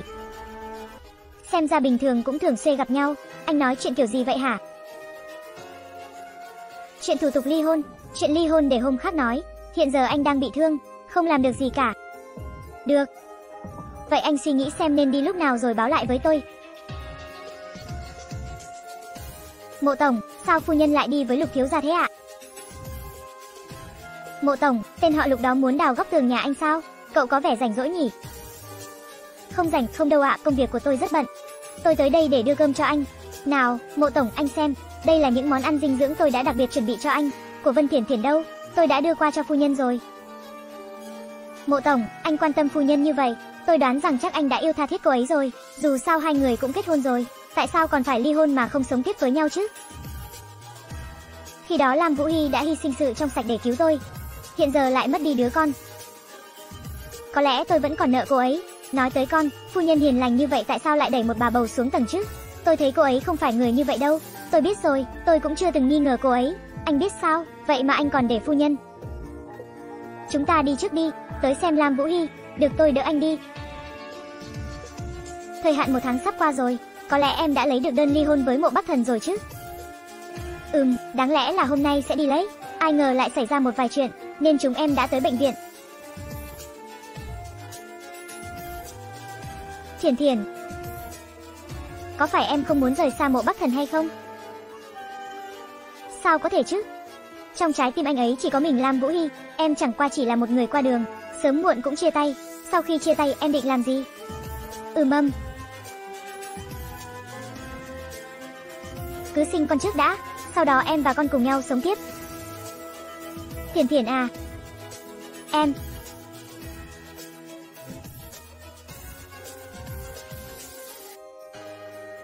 Em có thể cho anh một cơ hội không? Để anh được chăm sóc mẹ con em. Tử Yên, sao anh lại đột nhiên đùa vậy chứ? Anh không đùa với em. Anh đã thích em từ khi đi học rồi. Anh thích em rất nhiều năm rồi. Thiền Thiền à. Em có thể cho anh một cơ hội không? Nhưng giờ em vẫn còn là vợ của mộ bắc thần. Nhưng em sắp không còn là vợ cậu ta nữa rồi mà. Trong bụng em còn có con của người khác. Không sao đâu, anh không quan tâm. Anh sẽ nuôi nó như là con mình. Nhưng mà, anh biết trong trái tim em có mộ bắc thần, nhưng trong trái tim cậu ta chỉ có Lam Vũ Hy, sao có thể chọn em được cơ chứ? Người đó có lòng tự tôn rất cao. Sẽ không chăm sóc con của em như con mình đâu, đó không phải lựa chọn tốt nhất dành cho em. Thiền Thiền à, em không thể cho anh một cơ hội sao? Xin lỗi Tử Yên, em chỉ coi anh là bạn em. Chuyện khác, em không tính đến. Được rồi. Có lẽ là do anh quá gấp gáp, anh biết em chưa thể chấp nhận được. Nhưng anh sẽ chờ em. Tử Yên, đồng ý hay không là chuyện của em, còn chờ là chuyện của anh. Anh sẽ tiếp tục chờ em.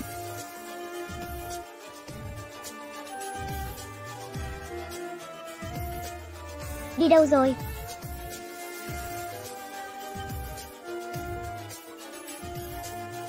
Bác thần à, anh sẽ đối xử tốt với em chứ? Đừng nghĩ nhiều, nghỉ ngơi đi. Vậy anh, anh sẽ ly hôn với Vân Thiển Thiển chứ? Sau đó chịu trách nhiệm với em đúng không? Ừm. Bác thần, anh tốt quá, em muốn được ở bên anh cả đời.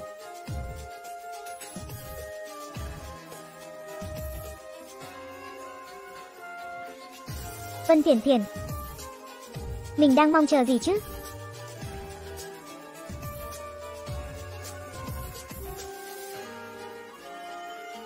Không được, mình không thể để bản thân lún quá sâu được. Không thể kéo dài thêm nữa.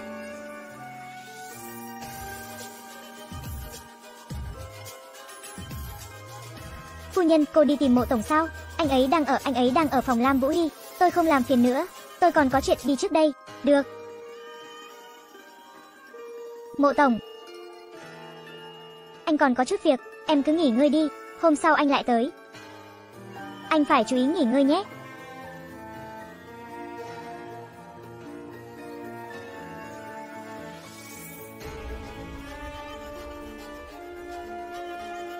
Đã xử lý ổn thỏa chưa? Đã xử lý xong rồi. Mẹ kế của phu nhân sẽ bị phán 20 năm tù giam vì tội giết người bất thành. Hãy sai người bảo vệ Thiển Thiển, ngoài ra cử hai người theo dõi Vân Tư Hàm cho tôi. Tôi sợ cô ta sẽ gây chuyện tiếp. Tôi hiểu rồi, Mộ tổng. Giờ anh có muốn về công ty không? Được. Cậu về trước đi, tôi còn có chút chuyện. Được ạ.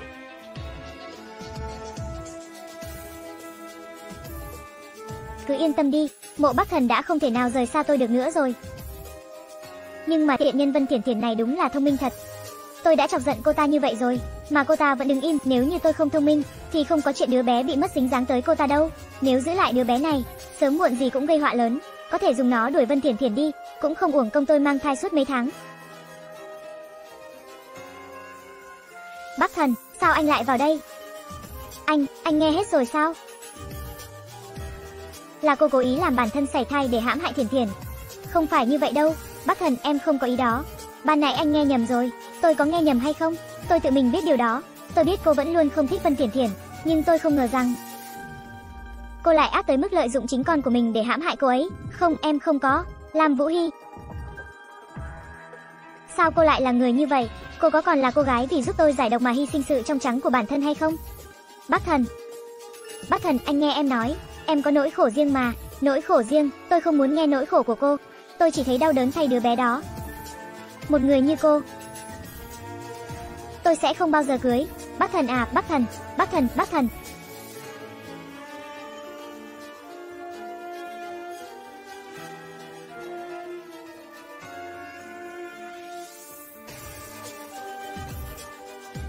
Vân Thiển Thiển, Vân Thiển Thiển, em về nhà chưa vậy?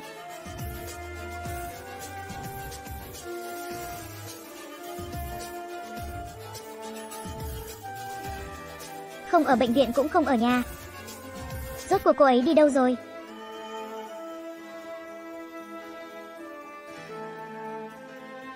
Đồ đâu? Đồ của cô ấy đâu rồi? Xin chào, số máy quý khách vừa gọi đã tắt máy.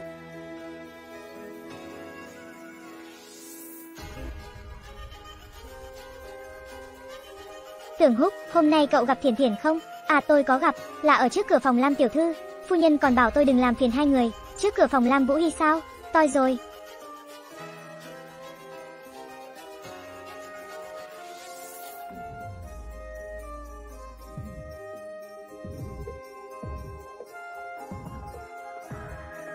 Biết anh bị thương không tiện, cho nên tôi đã tự tới cục dân chính. Sau khi nói rõ tình huống, họ cũng đồng ý cho tôi lấy đơn ly hôn. Hiện giờ chúng ta đã hoàn toàn cắt đứt rồi, tôi sẽ không làm phiền anh nữa. Chúc anh và Lam Vũ Hy trăm năm hạnh phúc, Vân Thiển Thiển. Thiển Thiển,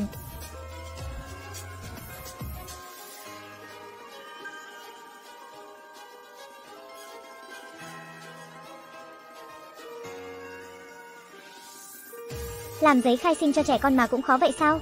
Tại sao thủ tục ly hôn với mộ bắc thần lại có vấn đề cơ chứ? Bé ngoan của mẹ, chờ mẹ làm xong thủ tục, chúng ta tới Việt Thành tìm bác con nhé. Đã 10 tháng rồi, có tin tức của cô ấy chưa? Nơi tìm được đã tìm hết rồi, nhưng vẫn không có manh mối gì. Mộ tổng tôi thấy có lẽ là phu nhân không muốn gặp anh. Vậy thì tiếp tục tìm đi. Vâng,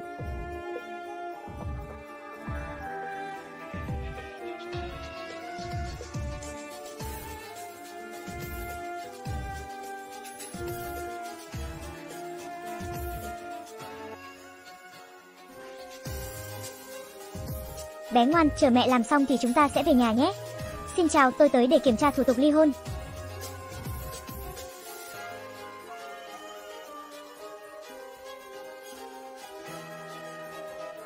Cô nói gì? Mau lên, quay đầu tới cục dân chính. Rõ ràng khi đó đã xử lý xong rồi, tại sao giờ lại có vấn đề được chứ?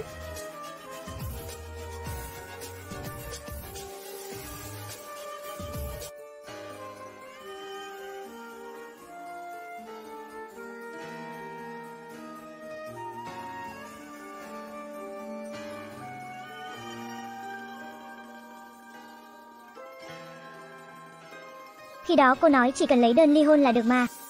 Giờ lại nói tôi ly hôn không thành công là sao chứ? Khi cô lấy đơn ly hôn, chồng cô không có mặt, nên không thể chắc chắn hai người có tự nguyện ly hôn hay không. Là chồng cũ, khi đó tôi đã giải thích rồi mà, anh ấy bị thương không tiện tới nên tôi mới tới một mình. Vậy anh ấy có tự nguyện hay không? Tất nhiên rồi, không đồng ý.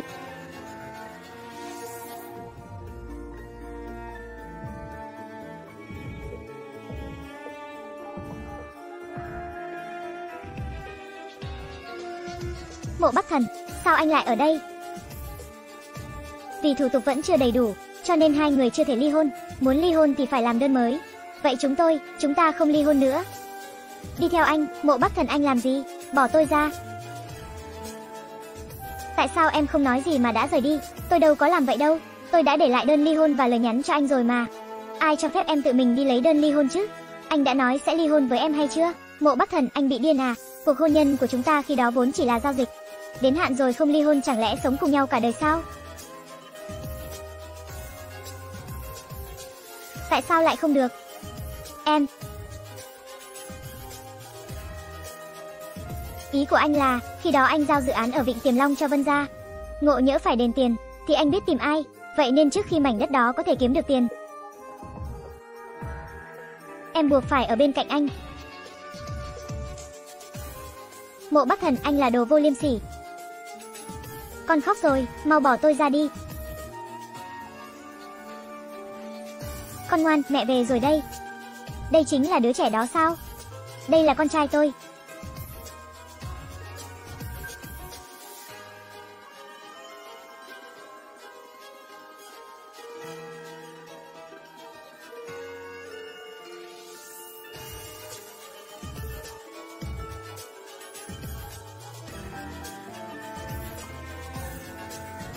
Rồi, chúng ta nên về thôi. Chuyện ly hôn chúng ta thương lượng sau.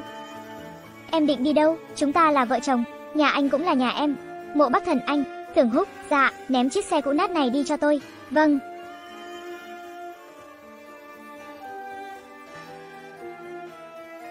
Mới có một năm không gặp, sao anh ấy lại trẻ con như vậy chứ?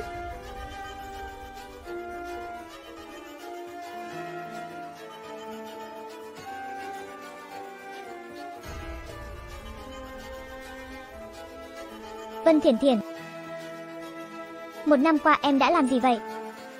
Sinh một đứa con, thi chứng chỉ, hiện giờ đang sắp khởi nghiệp. Ừm, còn anh thì sao? Anh và Lam Vũ Hy kết hôn chưa? Biểu cảm của anh là sao? Lẽ nào anh ngoại tình sao? Anh lại yêu đương với ai khác à? Lẽ nào em còn chưa hiểu sao? Từ trước tới nay, anh chỉ muốn yêu đương với em. Alo, là tôi. Cái gì? À được, tôi sẽ tới ngay. Mộ Bắc Thần, công ty của tôi có chút việc, cần tôi tới xử lý gấp, anh giúp tôi chăm sóc con nhé. Chờ đã, con yêu à, mẹ đi một lúc nha. Chăm trẻ con sao, anh đâu có biết chăm trẻ. Đơn giản lắm, đói thì cho ăn, khát thì cho uống, nếu không đói không khát mà vẫn khóc thì tức là muốn đi vệ sinh. Nhưng mà, làm phiền anh nhé, tôi đi trước, anh. Cô ấy vừa nói gì nhỉ? Đói rồi. Đói thì cho ăn, đói thì cho ăn. Đói thì cho ăn. Mộ tổng, anh gọi tôi tới đây làm gì? Chăm trẻ đó, hả? Nhưng tôi đâu có biết. Tôi có sao, cũng đúng ha. Mộ tổng à, không biết có nên nói không, nhưng đứa bé này giống anh thật đó. Hay là, nếu anh vẫn còn tình cảm với phu nhân, thì làm bố dượng của đứa trẻ này là được. Nhưng mà, chắc là phu nhân sẽ không tìm bố dượng cho đứa bé đâu. Cũng tức là nói, có đứa bé này, thì anh không thể quay lại với phu nhân đâu. Vậy thì ném nó đi. Ném ra ngoài ngoại ô cho sói ăn. Khóc rồi, còn không mau dỗ nó đi, tôi đâu có biết dỗ. Khóc to thế này, hay là ốm rồi, có cần tới bệnh viện không?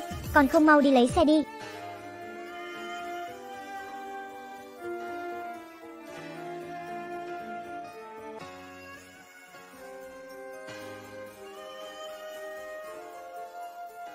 Mộ tổng. Bác sĩ, đứa bé thế nào rồi? Kết quả kiểm tra còn chưa có, nhưng có khả năng là thiếu máu bẩm sinh, cần phải truyền máu. Hai người có ai có máu AS âm không? Để tiện hiến máu cho đứa trẻ. Có tôi đây, tôi có thể hiến máu. Được anh đi theo tôi. Sao anh không nói với tôi anh là bố đứa bé? Người thân không thể truyền máu cho nhau đâu. Thế này là rút máu vô ích rồi. May mà bệnh viện có nguồn cung kịp thời. Con anh không sao rồi. Anh nói gì? Tôi là bố đứa bé sao? Tự nhìn đi, bên trên viết rất rõ, mối quan hệ huyết thống của anh và đứa trẻ là 99.9%. Chính là người thân trực hệ của đứa bé, vậy tức là người tối hôm đó. Chính là Thiển Thiển.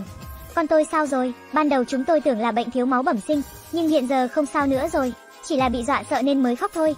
Nhưng hai người làm bố mẹ cũng quá vô tâm rồi đó, nhất là bố đứa trẻ, người thân trực hệ mà còn muốn hiến máu, đây là gây chuyện còn gì? Bác sĩ, anh nhầm rồi, anh ấy không phải bố đứa bé, Sao có thể, trên giấy xét nghiệm viết rất rõ ràng, rốt cuộc hai người bị sao thế hả? Giấy xét nghiệm. Đúng là người trẻ thời nay mà, có phải em nên giải thích với anh đây là chuyện gì hay không?